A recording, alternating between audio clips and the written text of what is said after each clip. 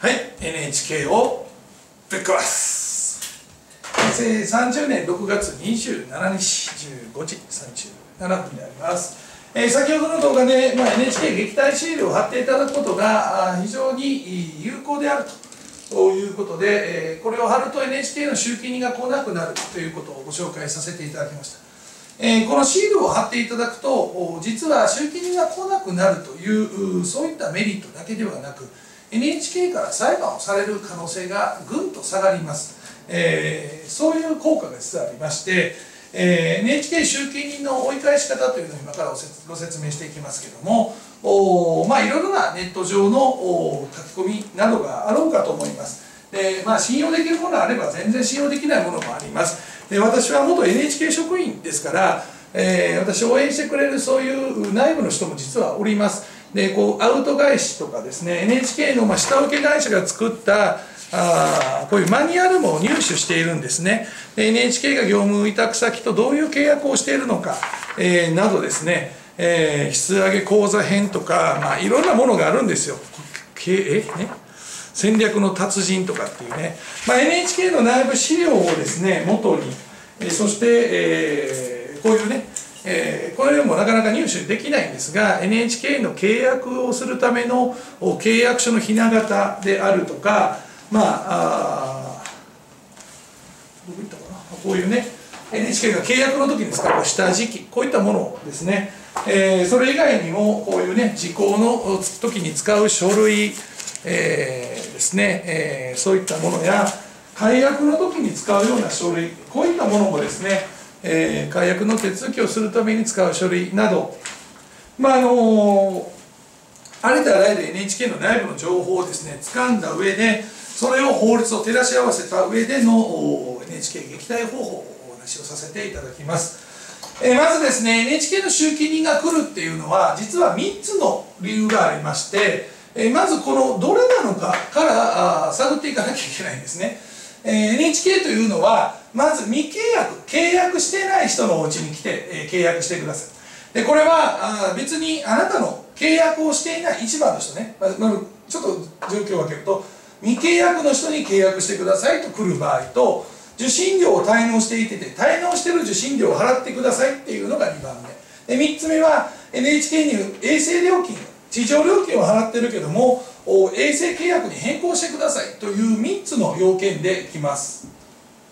で、えー、まずこの契約してくださいって来る場合は NHK はどういう前提で来るかっていうと彼らはそのまあナビタンという今こういうあのタブレット型のものに変わってますけども住所があるんだけども契約がないというところを、まあ、基本的にはあの訪問しています。例えばあここは葛飾区東新小岩1丁目4の3というマンション。その4の3でこのマンションが22階まで2階から22階まで部屋があってですね。その例えばこの部屋だったら407号室には契約をしていない。だからあテレビがありませんか？あるんだったら契約してください。とこう来るわけですね。ただまあ NHK の集金にはテレビは設置していませんか？とは聞かずにこの部屋で契約がないからこの住所で契約がないから契約してくださいとやってきます。で、えー、これに関してはですね未契約で NHK が来た時には至って簡単ですね追い返すのは。まず契約しませんとはっきりということです、まあ、できればテレビがあるんだったらもう嘘をつくことは全く何もありません。テレビがあるけど契約しませんとかまあ別にテレビがあるかどうかはわざわざ言わなくてもいいんです。契約しません。これファーストステップです。これもうすごい大事です。契約しませんとはっきりということですね。で次に、えー、向こうがいろいろとね契約しないってどういうことですか？とかってこう言ってくると思うんですけども次の上等句は裁判してください契約しないって言ってるでしょ？もうねご不満があるんだったらどうぞ裁判所行ってください。裁判してくださいと。でもう最後お決め台詞お帰りくださいです。契約しません。これはっきりとあなたの意思を表示することですね。そして、えー、不服があるんだったら裁判してくださいと、ね。えー、私はテレビがあるとはっきり言ってるじゃないですかと。どうぞ裁判所に行ってください、ね。でえー、もう分かりましたかと。契約しないと意思表示しましたよね。えー、ね、クレームがあるんだったら裁判してくださいね。とこう言ってるんだからもうあなた帰るしかないでしょ。もうこの順番です。もしこれで帰らなければこれは完全に不退去罪ということになります。というのはあまあ不退去罪はちょっと後でまとめて説明します。これ怖いようですけど全然嘘をつくことありません。テレビ持ってますとか構いません。テレビ持ってます。わざわざ嘘つくことないんですよ。もし裁判になったらどうするんですかって言ったらこれ最高裁はこの判決ね NHK を見てる人だけが負けていてこの B キャスカードの20桁の番号を伝えた人しか裁判実はしてないんです。これできないんですね。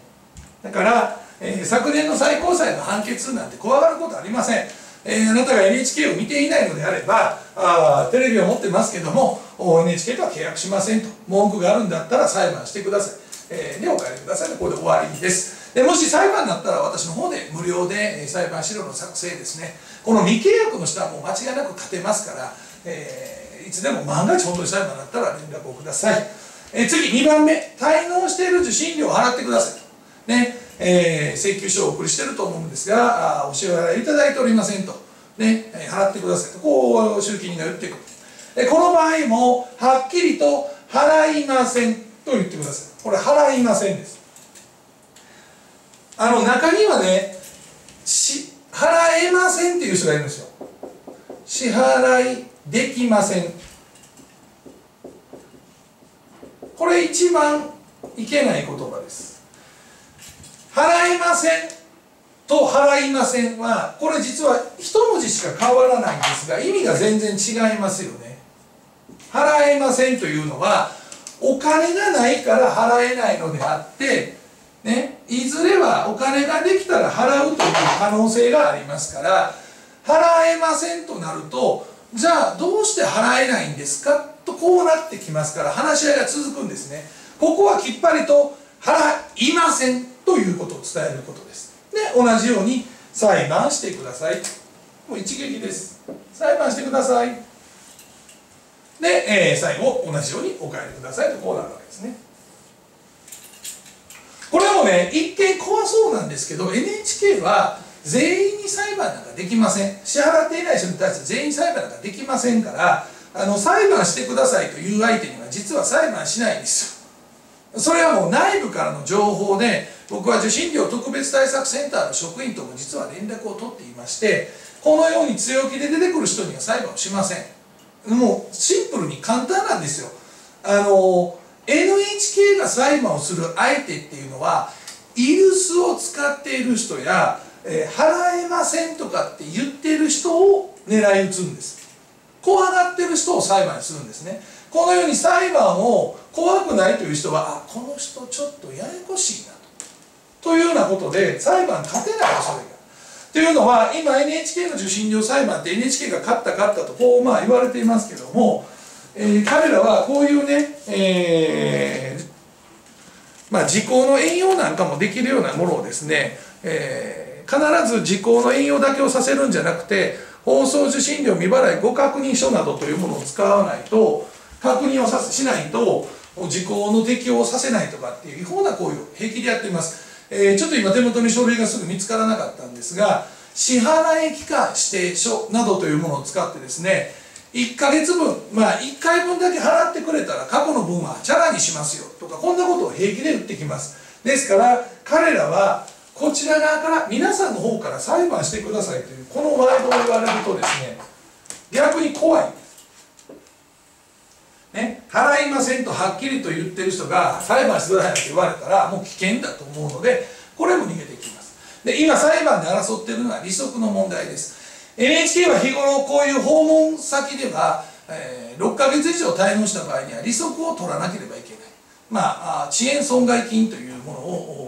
取る、まあ、NHK は言ってるんですが遅延損害金なんてものは、え、規約にはどこにもなくてですね延滞利息という形で、え、それは受信料の一部として実は計上されています。えーまあ、計上というか受信料の一部として利息を取れということが放送法の施行規則の第23条の7項 ,7 号に記載されてるんですがそこも無視しているのでとにかく NHK が来たら滞納してる受信料払ってくれと言われたら払いませんと裁判してくださいでここは絶対裁判になったら勝てるとは僕も保証できません。ただしここの場合は5年分で OK です。どんなに貯めても地上契約で8万円衛星契約で14万円弱かな。これで OK ですからこの手続きを取っといてください。で絶対に皆さんを安全に守ることっていうのはさすがに私も今のところできません。だから選挙に出て皆さんに投票をお願いをしてですねこの腐り切った NHK を守る法律を変えようとしているわけですから今完全に受信料を払わない皆様をお守りすることはできません。契約していない未契約の人はほぼ90%ぐらいの確率で守ることができますが契約して滞納している人は完璧に守ることはできません。ただあこのように払いませんとはっきりと言っていただければどんなに高額になってもこれも最高裁で4年前に判決が確認していて確定していて時効は5年と。だからこの5年分以上を払わされることっていうのはないということで、えー、確認あの、まあ、そこはね安心というかそういうものであるということをしっかりと知識と知識の中に入れておいてください。で裁判になる確率はこっちの未契約の人はこれはね僕の試算では20万分の1ぐらいですね。もう20万分の1って言ったらあのななた例えばパチンコ1回転が300分の1とかですからね。300分の1が2回転で2回とも当たる確率が9万分の1ですからね。あの海物語を3回転させてなんか3日続けて初めて打った台が3日続けて初当たりするぐらいの確率なのでもうありえない数字ですね。でこっちの人が大体100分の1です。100分の1っていうと高そうな気はしますが99%当たらないですよね。これしかも死ぬまでの確率です。大体人が生まれてきて NHK と受信料をですね生まれてきたか契約をして受信料を滞納してる人の NHK から裁判される確率で100分の1ぐらいです。で100分の1の確率で 5, 万5年分払えばいいと。だから真面目に先払ったら100%を払わなきゃいけないです。5年分以上ね。でも仮に裁判になったとしても100分の1の確率で裁判になったとしても5年で済むということでまあ契約した人は不払いをしていることが好ましい。で、えー、できればこの契約している人は NHK のパソコンであのホームページで旦那さんが契約している場合は奥様へもしくはあ奥さんが契約している場合はまああまりご主人は収入がある普通多いので、えー、例えばお父さんとかお母さんとかねこういう形に名義変更されることをお勧めします。NHK はね実はこの名義変更を簡単にちゃちゃちゃちゃっとこうインターネットで申し込むとやるんですが、えー、この名義変更されると裁判に勝てないということで名義変更とにかくまあ誰でもいいです。今契約してる人のお、ねえー、人のおう同居している子供さんでもいいですしお父さんお母様でいいですしご夫婦だったらご夫婦ということをやっておけばこれ裁判になりません。これ NHK の関係者から聞いておりますので名義変更しておいてもらえれば有利だと思います。えそして最後3番目地上契約から衛星契約に変更してください。こういうの来ます。で僕や党としてはですね NHK をご覧になる方は NHK には受信料を払ってくださいということを言っております。これはあのー、必ずこういうねチラシにでもここ受信料を払あの NHK を見てなければ見ていなければというのをこ入れていますがやはりねいくら我々が NHK が嫌いだからといって NHK をご覧になる方の権利を奪おうとかあ NHK はぶっ壊すと言ってますが NHK が NHK を見ない人に被害を与えてこなければ関わりを持ってこなければ別に NHK さんお好きにどうぞそういう考え方なんですよ。ですから NHK を見る人はちゃんと契約してください。NHK を見る人は受信料払ってください。NHK の衛星放送を見る人はちゃんと衛星料金を払ってください。これはもうある意味当たり前のことで我々は NHK を見たい人の権利を奪うつもりもないし NHK をタダで見ようとする人を応援するつもりもありません。NHK なんて見ないから NHK に受信料を払いたくない。そういう方をお守り応援する活動です。従いまして地上契約から衛星契約へ変更してください。これ特にね団地とかマンション。勝手に屋上にパラパラランって流がってえー、勝手にうちの家のテレビで衛星放送が映るようになった。そういう場合に NHK がやってくるわけですね。で今そういう場合は今から BS 入力端子を折りますから家の中に入って一緒に確認してください。ちょっと長いんですけど。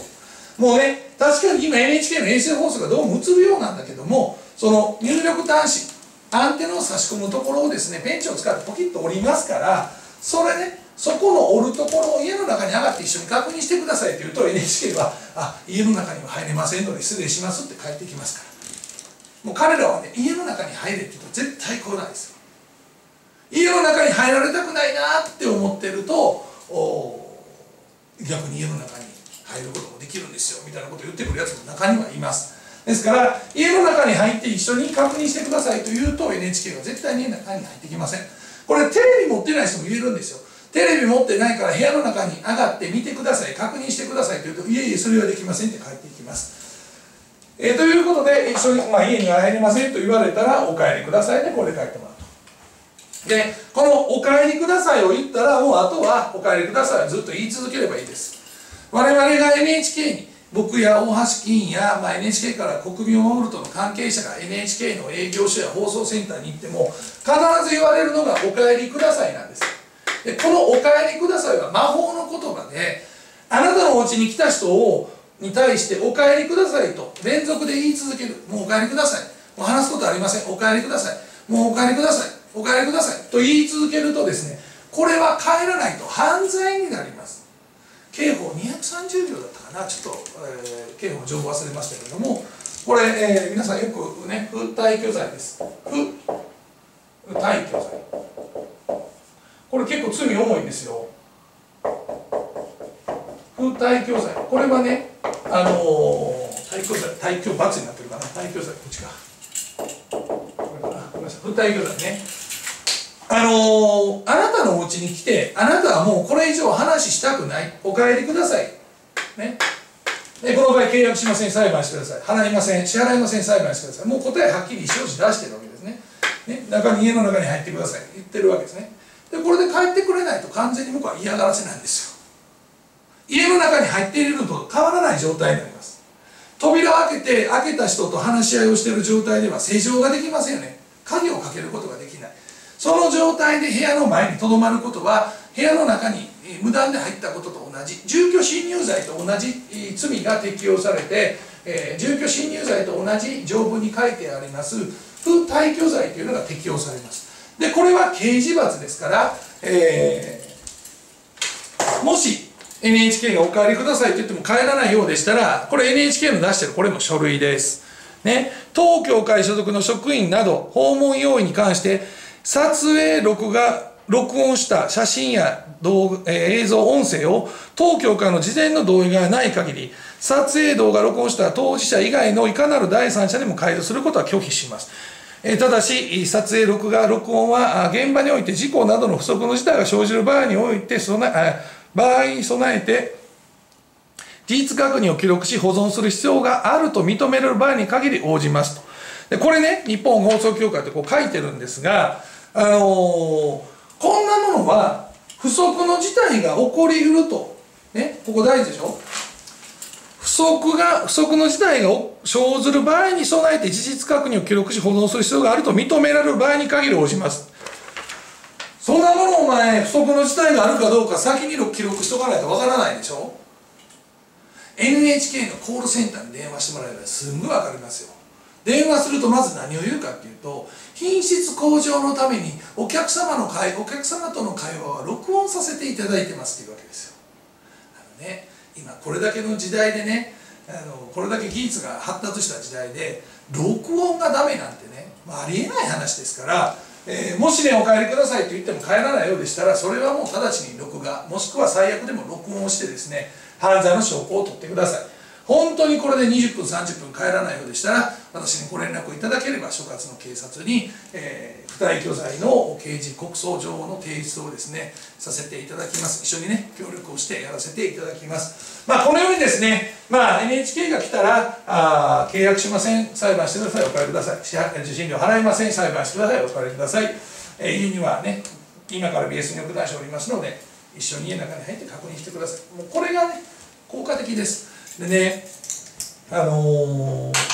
ぱりテレビがあれば契約しなきゃいけないと思う人が大勢いらっしゃる。これも事実なんですが、えー、もっともっと深いところがありまして例えばこの契約してくださいっていうのは本来法律ではここの受信機の設置日っていうのを書かなきゃいけないんですよ。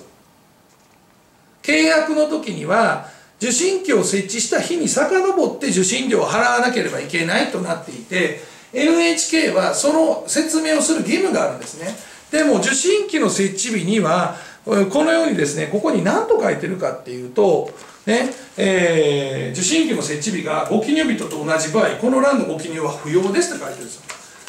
この欄の記入が不要ですっておかしいでしょ？だって受信機の設置日は確認しなきゃ。で NHK が使ってるねこの下敷き型のね記入例ご記入例も名前や印鑑日付今日の日付には契約日ですよね住所や口座情報をかけ衛星契約か地上契約か、そしてテレビの台数をかけてなってるのに、なぜかこの受信機の設置日には赤印が入ってないんですよ。ここをかけとは NHK 自らが集金人に指示してないんですね。さらに、この契約の時にチェックをする放送受信設備、放送受信契約お手続きの内容確認シートというものがありまして、契約の中身が漏れがないか、記入漏れがないかというようなところで、ここもですね、テレビの種類、ね、えー、ワンセグなのかパソコンなのかカーナビなのか、で、衛星契約か地上契約か、そして支払いの方法ですね、クレジットカードなのか、口座振込なのか、あ継続振込なのか、でね、端末の利用ですね、え、で、次回の請求日や口座引き落とし、次回の請求予定額とか、金額や支払いのことしか書いてないんですよね。この3箇所しかチェックする欄がないんですよ。受信機の設置日についてチェックする欄はないんですね。このように、実は NHK という組織は、契約をさせるときに、ね、契約の締結を求めるときに、遡って受信料を払うための契約を締結させなければいけないんですが、それをさせさせてないんですよ。これが放送法64条の第3項違反で100万円以下の罰金となります。これ1番の場合 NHK は実はこのように裁判をされると困るのが NHK っていうことになるんです。で次2番目。滞納している受信料に関してもこれもまあ非常に細かくて見づらいんですが規約っていうのがありますここにね。えー、あの日本放送協会放送受信規約の第12条の2っていうところに利息についての書き込みがあります。規定があります。6ヶ月以上滞納した場合は2ヶ月ごとに2.0%の延滞利息を支払わなければならないと書いてるんですね。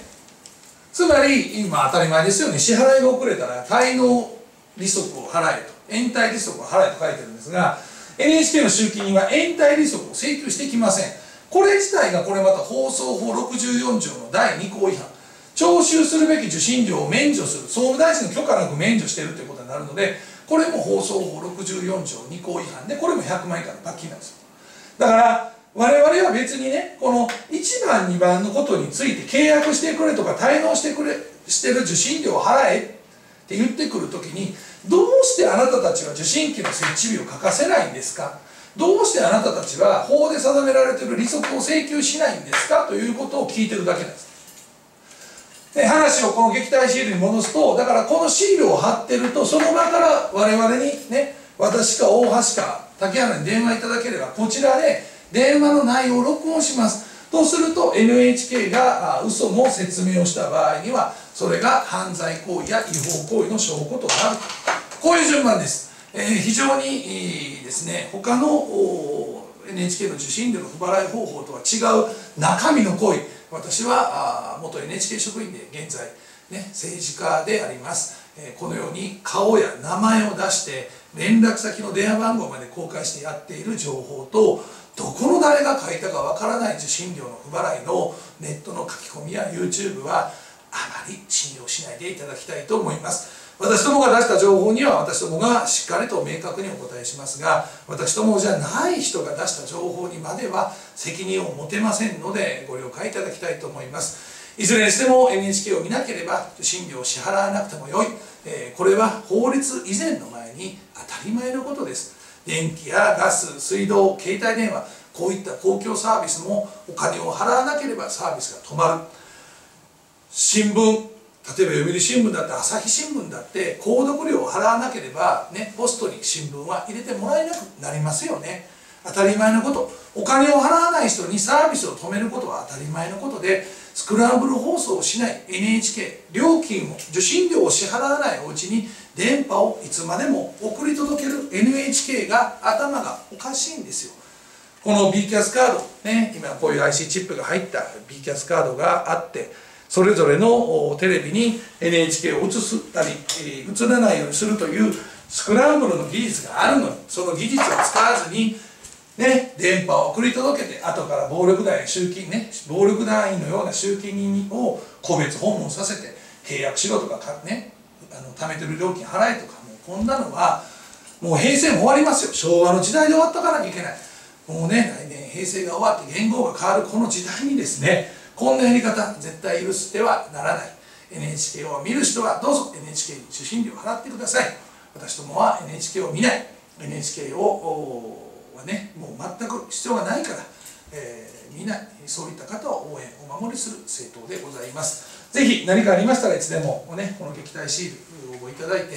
えー、撃退シールの書いてあるこの番号にお電話いただければしっかりと受信料を払わない方をお守りするそういった活動もしておりますのでよろしくお願いいたします。以上です。NHK をベッカです